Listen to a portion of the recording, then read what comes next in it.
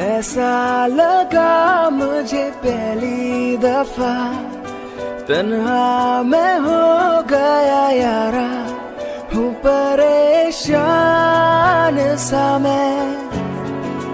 अब ये कहने के लिए तू ज़रूरी सा है मुझको ज़िंदा रहने।